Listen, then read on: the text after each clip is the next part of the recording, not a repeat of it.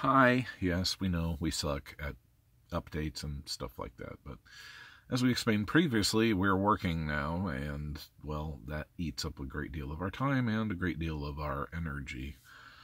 Believe me, it's a physically demanding job. Um, but, but on that front, as it's working out, you know, things are, are going well, as we said in the last one.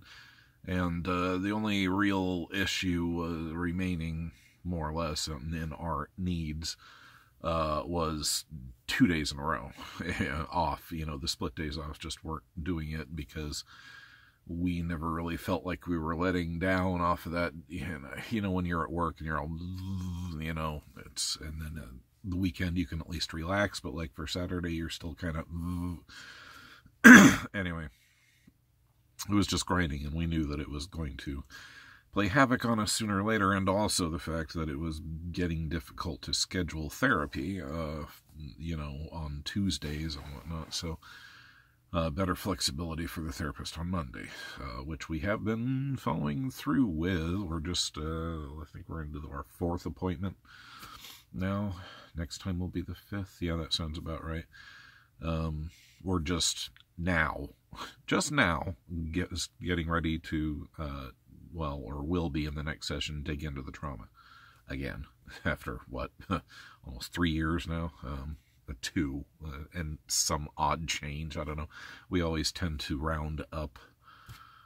Um, plus, you know, DID things aren't always exactly factual, which can be frustrating when you're trying to explain something and you know what you meant and what your mouth meant to say, but your mouth didn't say that and the other person just didn't get it, and then you have to re-explain yourself all over again while you're trying to hold the damn thought in your mind or fact in your brain to begin with. Anyway, uh, so and and this in and alone uh, uh, was uh, a big step, you know, getting just asking for the second day, but it was it was a two in one because we had actually through the course of conversation with one of our assistant we have three managers assist main manager assistant and assistant or assistant to the assistant however we're just their assistant manager.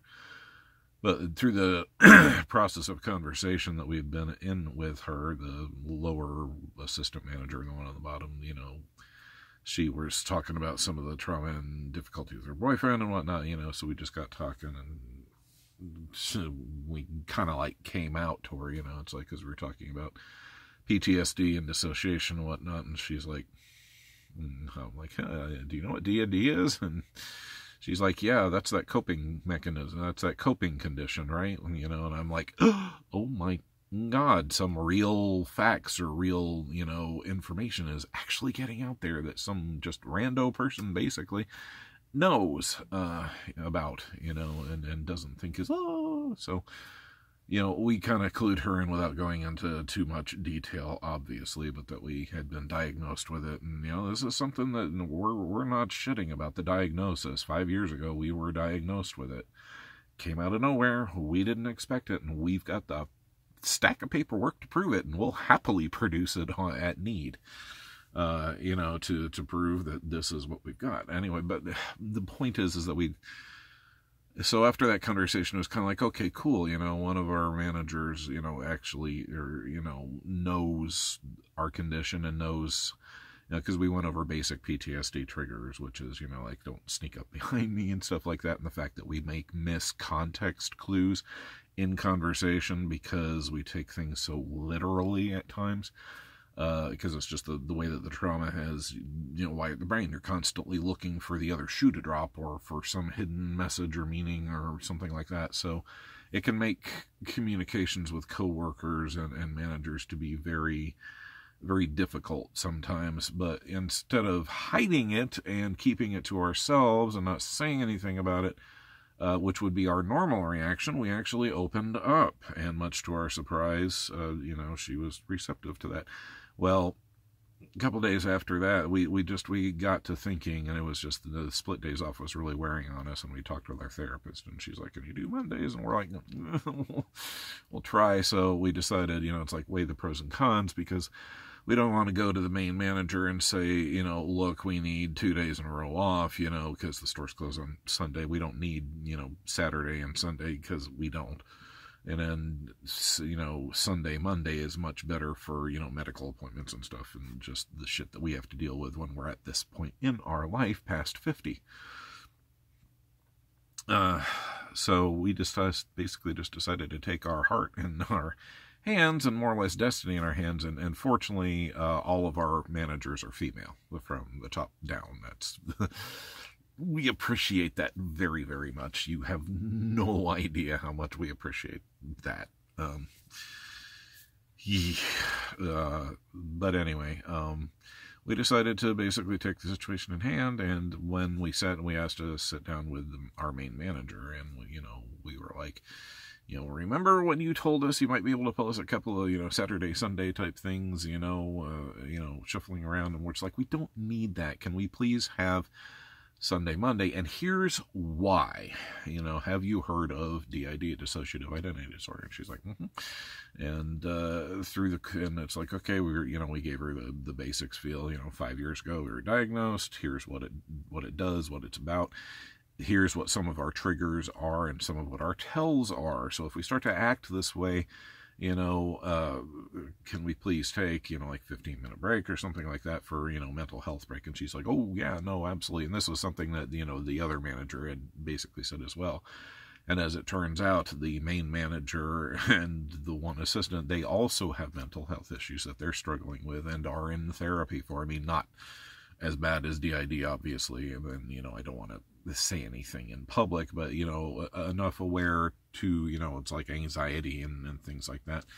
The stuff that we suffer from. Thank you very much for being on the you know tertiary scale of the structural dissociation. You know, at the bottom, yay, we get everything in the crap pile that is above. Um, so yeah, uh, much to our great surprise, and she was like, "No, yeah, absolutely, we can do that." You know, because we explained to her, you know, it's like we don't want you coming to you like we're, you know, some kind of ooh expecting big treatment after a month or anything, you know, because we've been managers and we know how tight scheduling and how bitchy scheduling can be. So, uh, but we wanted because we had a perfectly valid reason, and normally, like I said, we we said uh, we would suppress this. You know, the idea is the hidden disorder. You know, don't talk about it don't let on. You put on that public face mask, and you know you're da da da da da da da da da, and you get home and it's, you know, uh, you know what we're talking about. So it, it was really scary. It's like the the whole time, you know, because we asked her in the morning. It's like when you have a few minutes, can we catch your ear in private? And because we'd been debating about it for like two days and then we were just absolutely racked with anxiety going into it. You know it's like how are they going to react? Is they going to think that this is a valid thing you know or they don't want proof or anything? But no she was totally cool about it totally accepting about it. And you know uh, i told her you know i have already told so and so you know and you can tell the third manager if you need to. So uh, apparently, you know, big manager and the first, you know, first one that knew they talked about it and everything. So, but now they're aware. The, the main things are is that number one, uh, and these are all good things. Yeah, because this is this is another reason why we're sharing our work experience with you. Because, like it or not, you know, if if you're not going to win disability or something like that for DID or any of the ancillary effects, you know, apparently you have to cut yourself or be a danger to yourself or others in order to do that. Anyway, we're getting off the sidetrack you're going to have to go to work at some point. You, you, you, just you have to do it. It's one of these things that has to be done. You have to fight past the anxiety and the phobias and the triggers. You know, and this is why we were aiming for this particular job, dead simple job. You know, where you don't have to really get involved. It, it fit all of our criteria, and working the part time actually has been good. I mean, yeah, we still get that drag in the morning. I was like, oh man, just want to go back to bed you know, or you just want to call in. We're we're actually narrowing now that we think that some of our past, you know, activities in, in the past with jobs, it's it's now we're beginning to understand where some of those impulses came from. Anyway, um, damn, lost my train of thought. Um, too much going on upstairs.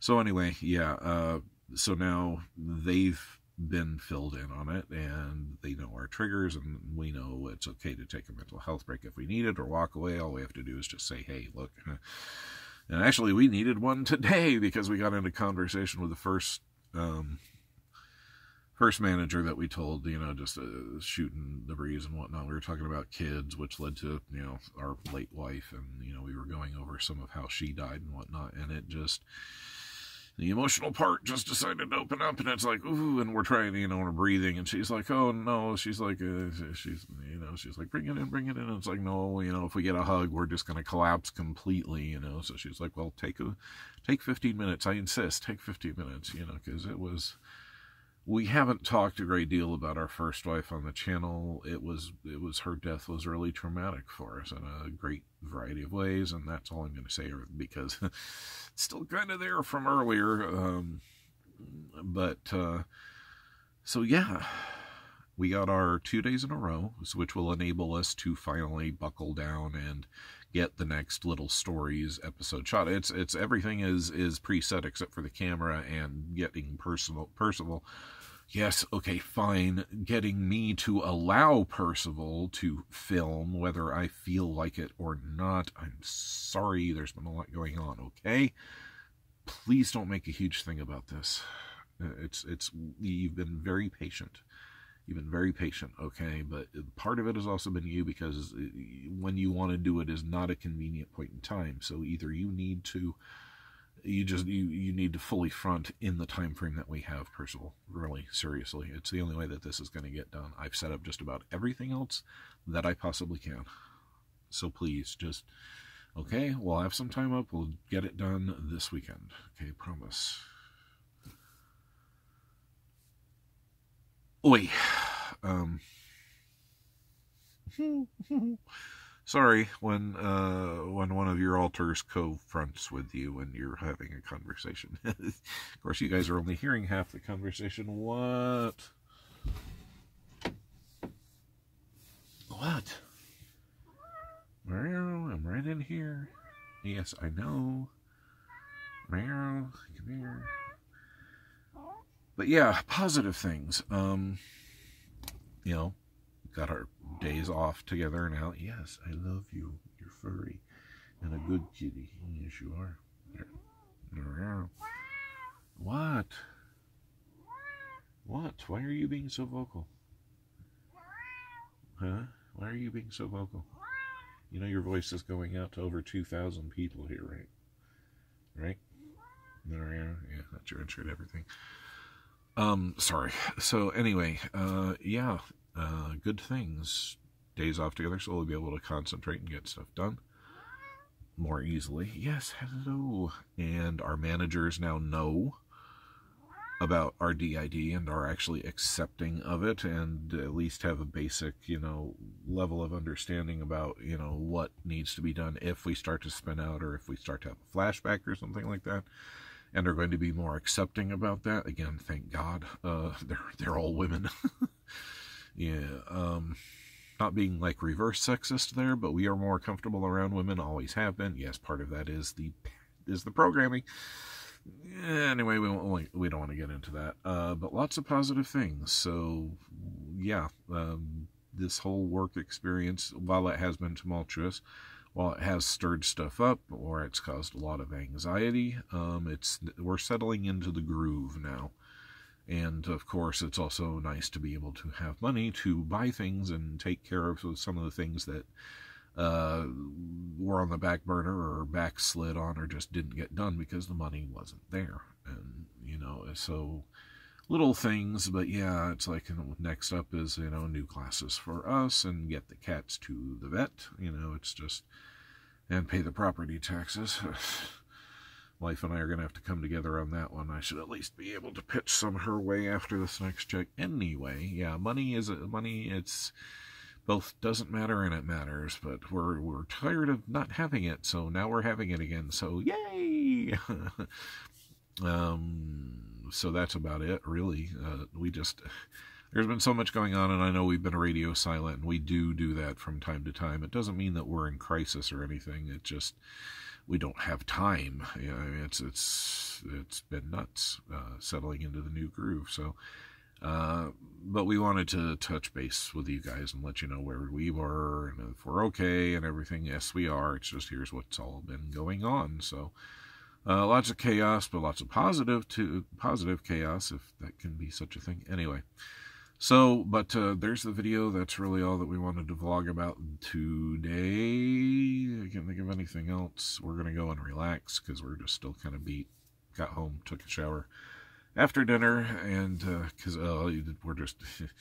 you're working in a donation center, you get covered in all kinds of stuff, but ugh, dust and dirt, the least of it.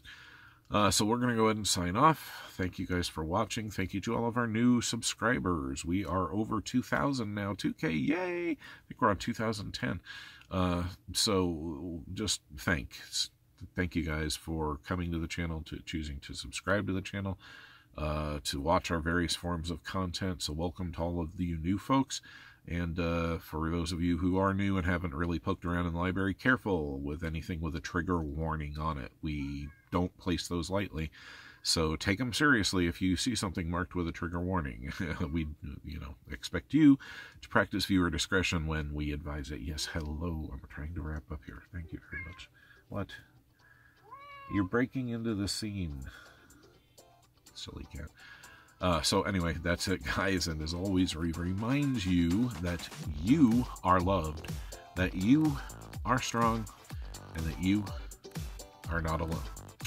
Chris, Data, and the rest of the Infinity System signing off. We'll see you guys next time. Yes, we will get the little stories out soon. We promise. I promise. Mr. Editor and Filmer and everything promises. Now just tell Percival to get his butt out so that we can film. All right, guys. Thanks a lot. See you next time.